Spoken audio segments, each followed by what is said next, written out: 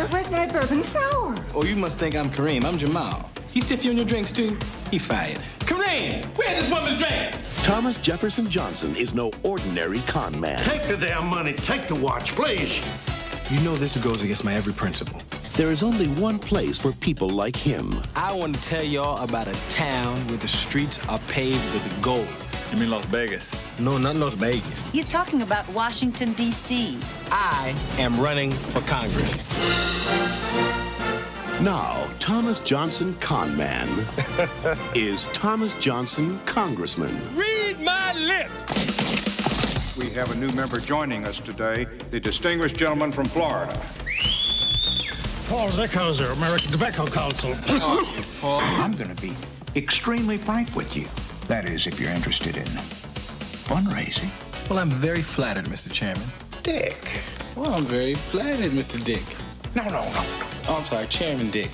No, Dick, just Dick. Oh, just Dick, just plain old Dick. You feel that the semi-automatic weapons gotten a bad rap.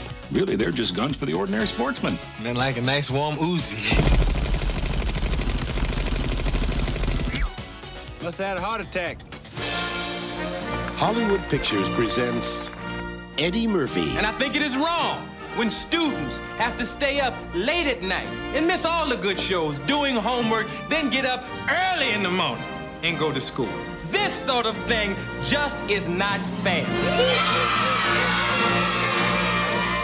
He's going to do to Congress what Congress has been doing to you. I got a sprinkler too now. Back at you. All right then. The distinguished gentleman. Aren't you going to vote? Is that what that means? You know, all this time I thought that that meant it was time for Final Jeopardy or something.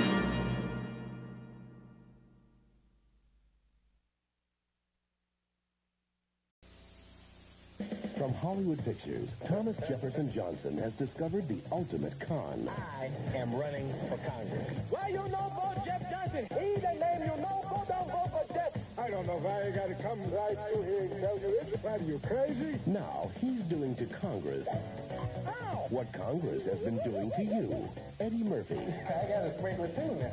All right. the distinguished gentleman. Yeah, I'm the man. Rated R. Starts Friday, December 4th at a theater near you.